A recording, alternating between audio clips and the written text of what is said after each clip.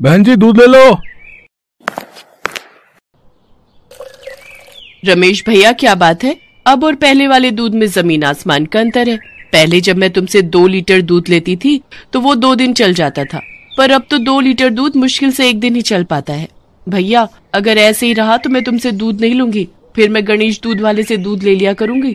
सुना है उसका दूध बहुत गाढ़ा होता है। अरे नहीं नहीं बहन जी चिंता मत करो। वो थोड़ा मौसम बदल रहा है ना। इसलिए गाय पतला दूध दे रही है। मैं कोशिश करूँगा कि अब से आपको गाढ़ा दूध ही मिले। रमेश जो कि गाँव में दूध बेचने का काम करता है पर कुछ समय से रमेश की गाय कम दूध दे रही है। इसी कारण दूध की मात्रा कम होने की वजह से कुछ दिनों से रमेश ने दूध में पानी मिलाना शुरू कर दिया ताकि दूध की मात्रा पूरी कर सके। पर लोग उस मिलावट को पहचान चुके थे। इस कारण रमेश बहुत परेशान था। रमेश भैया तुम दूध में पानी मिला रहे हो हैं? या पानी में दूध मिला रहे हो, ये बताओ। मेरी पत्नी ने साफ़ मना कर दिया है कि तुमसे दूध ना लें। अब तुम ही बताओ, अगर हम सबने तुमसे दूध लेना बंद कर दिया तो फिर क्या करोगे? इसलिए अभी भी समझा रहा हूँ कि दूध में पानी मिलाना बंद कर दो। नहीं नहीं भैया जी, मैंने दूध में कोई पानी नहीं मिलाया है। पता नहीं, मेरी गाय आजकल दूध बहुत पतला दे रही है। आपके अलावा बहुत से लोगों ने मुझे इस बात के लिए बोला है। चिंता मत करिए, मैं इस पर पूरा ध्यान दूँगा। अब ग्राहकों की परेशानी समझना तो मेरा फ़र्ज़ है ना। मैं आप सबको गाढ़ा दूध ही दूँगा। पर ऐसा नहीं हुआ। रमेश की गाय बहुत कम दूध देने लगी जिस कारण वो रोज़ाना दूध में पानी मिला रहा था। इसलिए अब गाँव में उससे सबने दूध लेना बंद कर दिया था। ऐसे कैसे गुजारा होगा? मेरे तो सारे ग्राहक छूटते जा रहे हैं। मेरे लिए बहुत मुश्किल हो जाएगी। कुछ तो सोचना ही पड़ेगा। अजी सुनते हो? घनश्याम भैया आए हैं। घनश्याम तू? अचानक शहर से आ बैठ। बड़े दिनों बाद तुझसे मिलना हुआ भाई। हाँ वो थोड़ा गाँव में काम था। सोचा अपने दोस्त से भी मिलता चलूँ। और बता कैसी चल रही है? क्या बताऊँ घनश्याम बहुत परेशानी में हूँ। गाय ने दूध देना बहुत कम कर दिया है यार। इसी वजह से बहुत परेशान हूँ। बस इतनी सी बात है? इसमें परेशान होने वाली कोई बात नहीं है। आजकल बहुत से ऐसे साधन आ गए हैं जिनसे हम गाय के दूध की मात्रा बढ़ा भी सकते हैं समझे? और दूध गाढ़ा भी कर सकते हैं भाई। मैं कुछ समझा नहीं। अरे गाय का इंजेक्शन। गाय का इंजेक्शन? हाँ अरे मैं भी तो शहर में दूध बेचने के लिए उसी का इस्तेमाल करता हूँ। अरे वरना आजकल गाय इतना दूध कहाँ देती है, है? दूध की मात्रा बढ़ाने के लिए गाय का इंजेक्शन ही इस्तेमाल में लाया जाता समझे? जिससे दूध को गाढ़ा भी करते हैं और दूध की मात्रा भी बढ़ जाती है।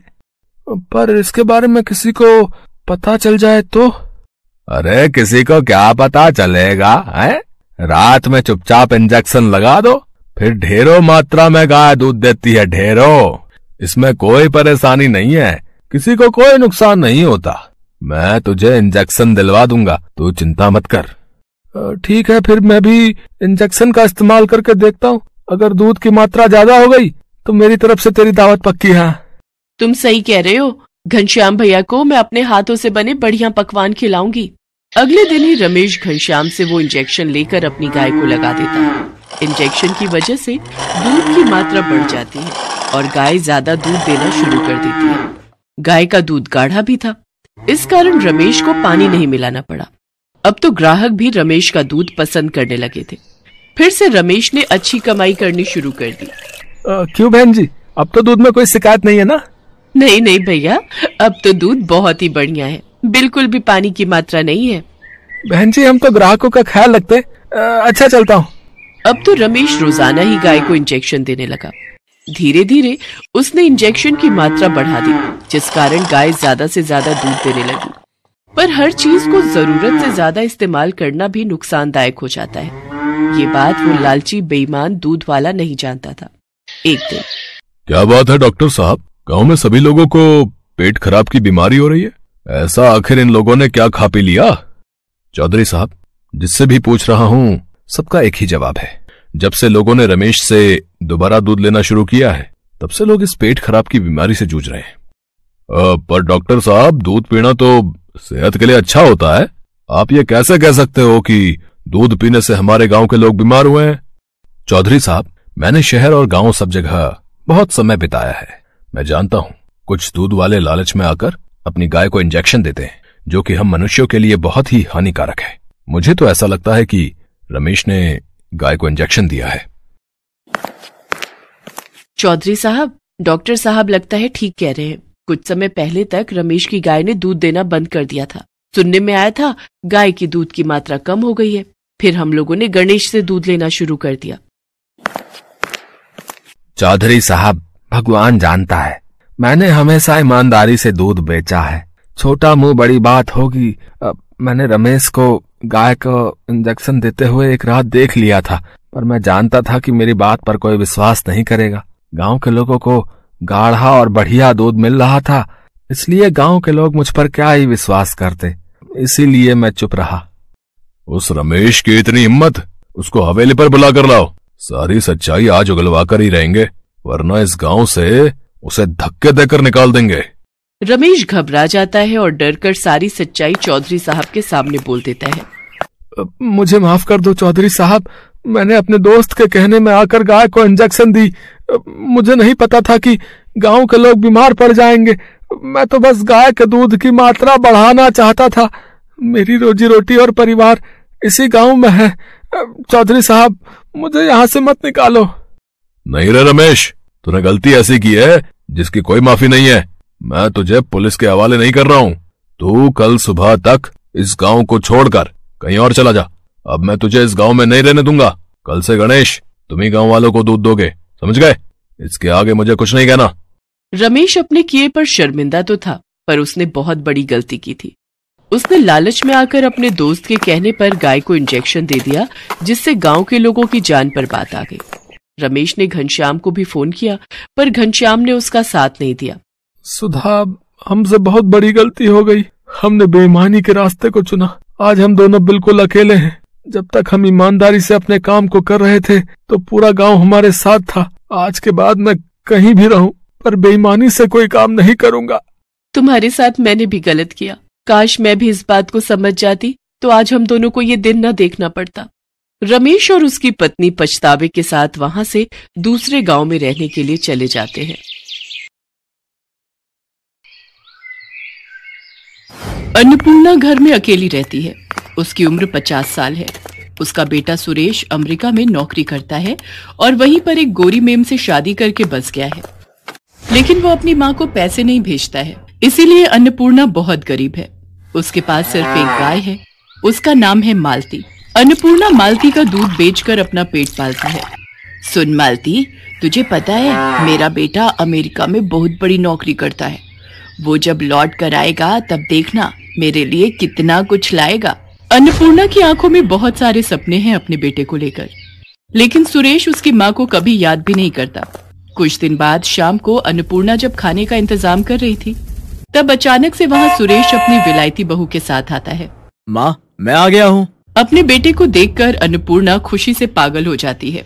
अरे बेटा तू अचानक से कैसे आ गया? वो बात यह है कि मेरी नौकरी चली गई है। अच्छा। इसीलिए माँ की याद आ गई। अब ठीक है बेटा, कोई बात नहीं। कुछ दिन घर पर आराम कर। सुरेश की बीवी का नाम रोजी है।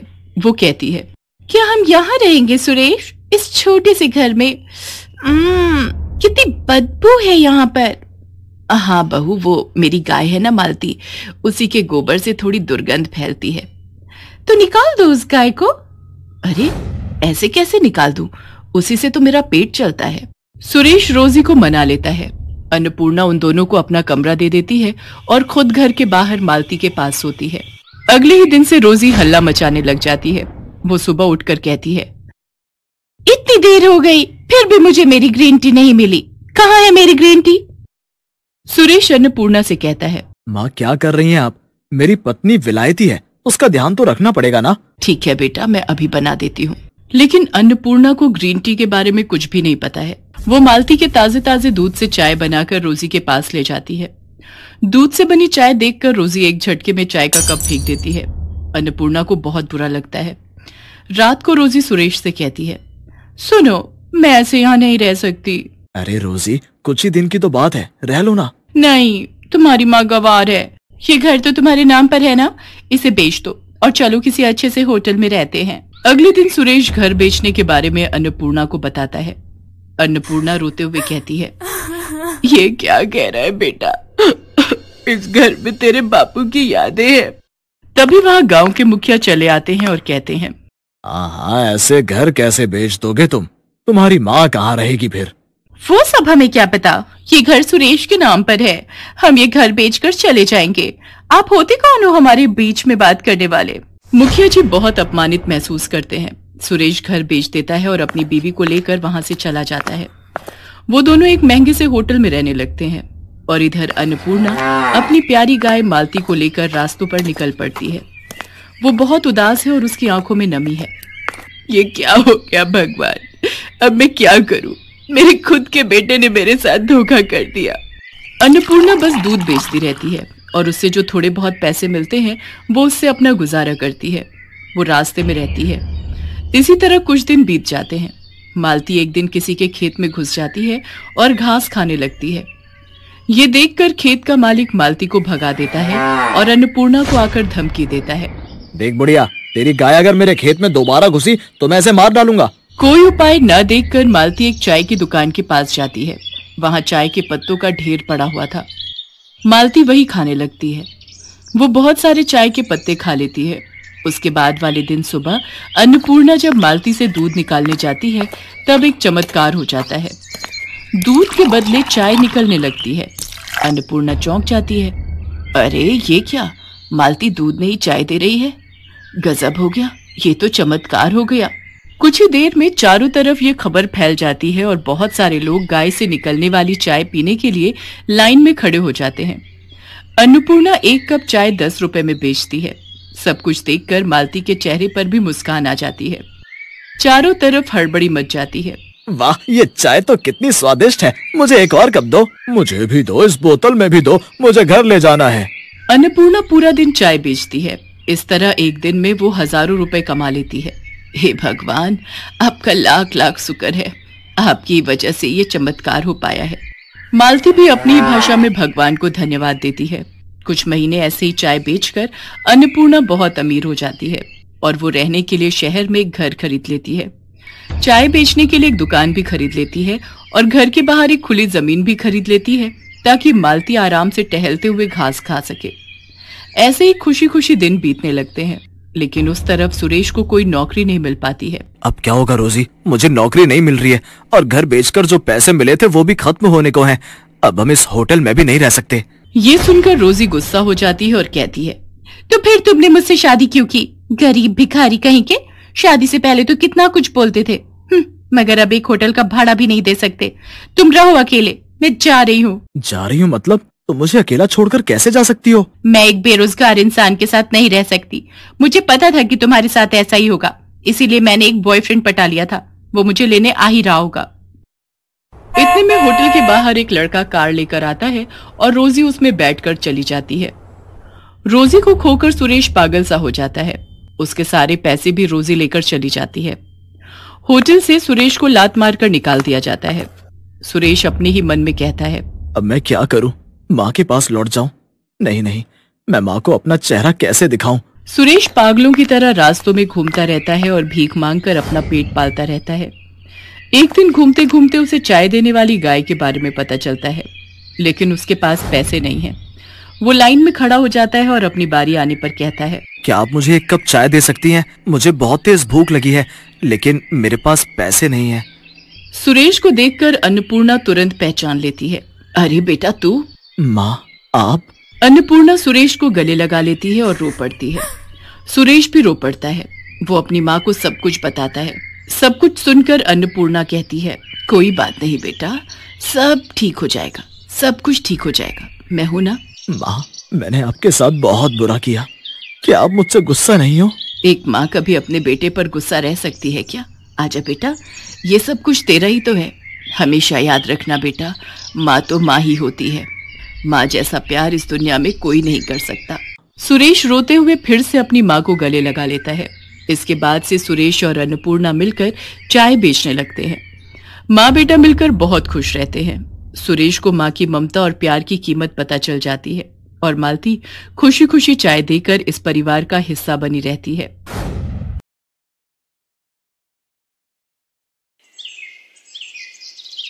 उर्मिला माधोपुर गाँव में रहती थी। उसके पास पारो नाम की एक पालतू गाय थी। पारो उर्मिला के साथ पिछले कई सालों से है। पति के देहांत के बाद इसी गाय के सहारे उर्मिला ने अपने परिवार को चलाया। उसकी गाय का दूध पूरे गाँव में मशहूर था। गाँव के सभी लोग उर्मिला से ही दूध लेते थे। उर्मिला का बेटा शहर में पढ़ता था। वहीं उसे पूनम नाम की एक लड़की से प्यार हो गया और उसने अपनी माँ को बिना बताए पूनम से मंदिर में शादी कर ली। आज वो गाँव वापस आने वाला था। उर्मिला बहन, दो किलो कर देना दूध। डेढ़ किलो मुझे भी देना। क्या बात है उर्मिला बहन? आज तो तुम बड़ी खुश दिखाई दे रही हो। बात ही खुशी की है, सरोज बहन। आज मेरा बेटा गाँव वापस आ रहा है। बस जल्दी जल्दी काम निपटा कर उसी के लिए बढ़िया बढ़िया पकवान बनाऊँगी। पता नहीं शहर में उसे क्या खाने को मिलता होगा और क्या नहीं। अच्छा तो ये बात है। चलो, बहुत बढ़िया हुआ। कब से बेटे के बिना अकेले रहते रहते तुम उदास हो गई हो। अब वो आ जाएगा तो तुम्हारे साथ काम में भी मदद कर देगा। हाँ वो तो है। अरे, आ रही हूँ पारो। तू क्यों आवाज़ लगा रही है? मैं जानती हूँ तू भी सूरज का नाम सुनकर बहुत खुश हो रही है। रुक, मैं अभी तुझे चारा डालती हूँ। फिर तो सूरज ही तुझे खिलाएगा। उर्मिला की गाय पारो अपनी आवाज़ में उससे बातें कर रही थी। मानो वो भी सूरज के आने की खुशी मना रही हो। शाम के समय सूरज आ जाता है, पर अपने बेटे के साथ बहू को देखकर उर्मिला को बहुत बुरा लगता है। माँ, तुम नाराज़ मत हो। सब कुछ बहुत जल्दबाजी में हुआ। पूनम के पिताजी की तबीयत ठीक नहीं थी और वो चाहते थे कि हम ये शादी जल्दी से जल्दी कर लें। इसलिए मैं आपको बता ही नहीं पाया, पर अब मैं आपके साथ ही रहूँगा। आप चिंता मत करो। और माँ, पूनम बहुत अच्छे स्वभाव की पढ़ी लिखी लड़की है। आप एक दूसरे को आसानी से समझ जाओगे। ठीक है, देखती हूँ वो मुझे कितना समझती है। गाँव के रहन सहन और शहर के रहन सहन में बहुत फ़र्क है बेटा। उर्मिला की तरह पूनम घर के काम काज नहीं कर पाती थी। उसे तो घर का कोई भी काम करना नहीं आता था। सूरज, तुमने मुझे कहाँ लाकर पटक दिया है? मुझसे ये घर के काम नहीं होते। हमें शहर वापस चलना चाहिए। उस गाय का गोबर साफ़ करो, उसे चारा डालो, उसे नहलाओ, घर की लीपा पोती करो। ये सब करके तो बदबू के मारे मेरा बुरा हाल हो रहा है। ऊपर से तुम्हारी माँ को माजी माजी का नाटक करते हुए लहसुन प्याज ही काटती रह जाओ। कैसी बातें कर रही हो पूनम? यहाँ पर सारा कामकाज बना हुआ है। मैं तो यहाँ पर बढ़िया सी डेयरी खोलने की सोच रहा हूँ। दूध, घी, पनीर, दही और कुछ खास मिठाइयों की बहुत ही बढ़िया डेयरी खुल जाएगी। हमारी अच्छी खासी कमाई हो जाएगी। शहर में घर का किराया, खर्चा, पानी कितना ज़्यादा है। वहाँ पर मुझे काम सेट करने में ही सालों गुजर जाएँगे। और जहाँ पर मेरा अपना खुद का घर का काम है, हम शहर में क्या करेंगे?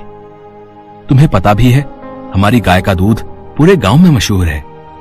सोचो हम कितना कमा लेंगे। और फिर हमारे यहाँ रहने से माँ को भी सहारा रहेगा। वो बेचारी अकेले काम नहीं संभाल पाती है। अच्छा तुम काम करो, मैं थोड़ी देर बाज़ार होकर आता हूँ। कह तो सूरज ठीक ही रहे हैं। शहर में काम करने के लिए पैसों की भी ज़रूरत होगी। यहाँ पर तो अपना मकान, अपना काम है, और फिर हमें तो पैसे कमाने से मतलब है। कुछ सालों में अच्छे पैसे कमा लिए तो बाद में शहर जाकर बस जाएँगे। पर मुझे किसी भी तरह से सासू माँ से अलग होना है, ताकि उस गाय पर मेरा कब्जा हो जाए। पता नहीं, माँ जी तो बहुत चालाक है। कितने पैसे अपने अंदर करके बैठी होंगी। पूनम को पता था कि सूरज गाँव में ही काम बढ़ाने वाला है, इसलिए वो अलग होने के रास्ते ढूँढने लगी। सूरज, सुबह से काम कर करके मैं थक गई हूँ। मेरे आने के बाद माँ जी ने घर के सारे काम मेरे ही जिम्मे डाल दिए हैं। गाय को नहलाना, धुलाना, गोबर साफ़ करना, चारा डालना, सारी देखभाल तो मैं करती हूँ। और दूध बेचने के टाइम पर माँ जी गल्ला लेकर तखत पर खुद बैठ जाती हैं। ऐसे थोड़ी होता है। मैं अब और बर्दाश्त नहीं कर सकती। जब मैं इतना काम कर रही हूँ तो फिर मैं अलग ही रहूँगी। मुझे माँ जी के साथ नहीं रहना। और हाँ उस गाय पर मेरा हक है। मुझे तो बस बंटवारा चाहिए, गाय का बंटवारा। पूनम इतनी ज़ोर ज़ोर से चिल्लाकर ये बात कह रही थी कि उसकी बात उर्मिला के साथ साथ पड़ोसियों ने भी सुन ली और सब वहाँ आ गए। बहू, बंटवारा? वो भी मेरी पारो का? मेरे जीते जी ऐसा कभी नहीं होगा। और तुम जानती ही क्या हो पारो के बारे में? उसे मैंने बहुत प्यार से पाला है। उसकी देखभाल की है। तुम मेरी पारो को एक दिन भी रख कर तो दिखाओ। वो तुम्हारे साथ एक दिन भी नहीं रहेगी। हाँ हाँ इस गाय की देखभाल मैं कर लूँगी। आप उसकी चिंता मत करो। पर एक शर्त है। आप बीच में दखलंदाजी नहीं करोगी। मैं जैसी मर्ज़ी गाय की देखभाल करूँ, आप उससे दूर रहोगी। सूरज अगर आज बंटवारा नहीं हुआ तो मैं तुम्हें छोड़कर शहर चली जाऊँगी। माँ अगर पूनम चाहती है तो आप उसे गाय दे क्यों नहीं देती? उसे एक बार कोशिश करने तो दो। कहीं ऐसा ना हो आप दोनों के झगड़े में मेरी शादीशुदा ज़िंदगी खराब हो जाए। सूरज बेटा एक माँ कभी नहीं चाहती कि उसके बच्चों का घर खराब हो। अगर बहू की यही इच्छा है तो आज से मैं अपनी पारो बहू के हवाले करती हूँ। उर्मिला बहन, इतने सालों से हम देख रहे हैं, पारो को तुमने बहुत लाड प्यार से पाला है। कहीं ऐसा न हो, बंटवारे के चक्कर में एक निर्दोष जानवर परेशान हो जाए। सब गाँव वाले भी क्या समझाते? पूनम तो बंटवारे की जिद पर अड़ गई थी। और ऐसा ही हुआ। गाय अब पूरी तरह से पूनम के हवाले थी। सूरज गाँव में डेयरी खोलने की व्यवस्था के काम से शहर चला जाता है। पूनम तो आलसी थी। उसने गाय के प्रति लापरवाही दिखाना शुरू कर दिया। वो सुबह उठकर ना तो गाय का गोबर साफ़ करती थी, न उसे नहलाती धुलाती थी और न ही उसे समय पर चारा देती थी। इसी कारण गाय के आसपास बदबू फैलने लगी और मक्खियाँ, मच्छर, कीड़े, मकोड़े आने लगे। गाय को समय पर चारा नहीं मिलता था। वो कमज़ोर हो गई। पूनम सारा दिन सोती रहती और खाती पीती रहती। गाय ने दूध देना भी बंद कर दिया। एक दिन गाय बेहोश होकर ज़मीन पर गिर गई। ये देखकर पूनम घबरा गई। सूरज उसी समय शहर से आया और वो भी घबरा गया। उसने उर्मिला को आवाज़ लगाई। उर्मिला दौड़ती हुई अपनी पारो के पास आई और बिलक बिलक कर रोने लगती है। पारो पारो उठ देख देख मैं तुझे आवाज़ लगा रही हूँ। पूनम पारो की देखभाल की ज़िम्मेदारी तुमने ली थी ना? फिर उसका ये हाल कैसे हो गया? मुझे माफ़ कर दो सूरज। गलती मेरी ही है। मेरे कारण पारो आज इस हालत में है। मैं सचमुच माँ जी की तरह पारो की देखभाल नहीं कर सकी। माँ जी मुझे माफ़ कर दीजिए। उर्मिला दौड़कर चारे के पास जाती है और चारे को उठाकर पारो के आगे रखती है। पारो को उर्मिला के स्पर्श का एहसास होता है। वो थोड़ा सा हिलती है। ये देखकर सब खुश हो जाते हैं। उर्मिला अपने हाथों से पारो को चारा खिलाती है। पारो खुशी खुशी ढेर सारा चारा खा लेती है। मानो वो कब से उर्मिला के हाथों से ही चारा खाना चाह रही थी। पूनम को अपनी गलती का एहसास हो जाता है और वो उर्मिला से माफ़ी मांगती है। कुछ दिनों में पारो फिर से ठीक हो जाती है। अब सूरज ने भी गाँव में एक बड़ी डेयरी खोल ली थी। धीरे धीरे सब कुछ ठीक हो जाता है और दोनों सास बहू मिलकर पारो की देखभाल करने लगती है। पारो भी अब बहुत खुश थी। हेलो दोस्तों, कैसे हैं आप सब? हमारी कहानियाँ देखने के लिए हमारे चैनल को सब्सक्राइब कीजिए और हाँ बेल आइकॉन पर क्लिक करना मत भूलिएगा।